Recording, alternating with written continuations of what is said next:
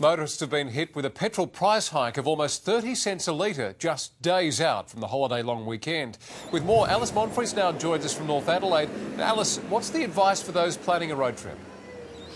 Well, Brenton, this morning Adelaide had the cheapest petrol in the nation, but it appears some retailers are looking to cash in on the thousands of motorists set to hit the road this long weekend. Here in North Adelaide, prices are at $1.39, having earlier skyrocketed as high as $1.43.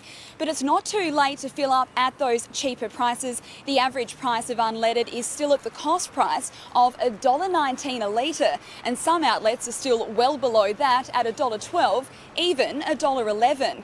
But we are being warned that a growing number of outlets are jacking up their prices this evening, many well above $1.40.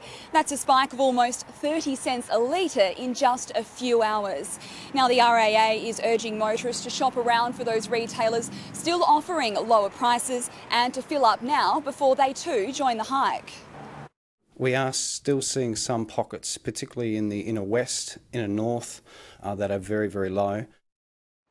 But motorists caught out at those outlets which had already spiked weren't impressed.